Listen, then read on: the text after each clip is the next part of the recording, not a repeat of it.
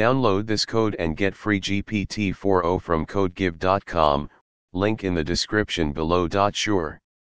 Image to text to speech conversion can be achieved by using optical character recognition, OCR, to extract text from images and then using a text to speech library to convert the extracted text into speech.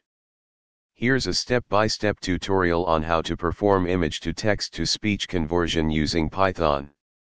1. Install the necessary libraries. You will need to install the following libraries. pytesseract, Python wrapper for Google's Tesseract OCR engine. Pillow, Python imaging library that adds image processing capabilities.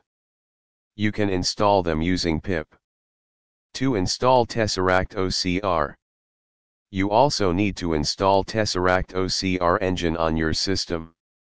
You can download it from the official site, https colon slash slash github.com slash tesseract hyphen ocr slash tesseract.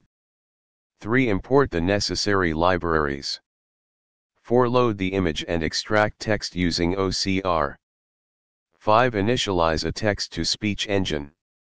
6. Convert the extracted text to speech. 7. Putting it all together. Make sure to replace image.jpg with the path to the image you want to convert to text and speech. That's it. You have now implemented image to text to speech conversion using Python. Feel free to customize the code further to suit your needs.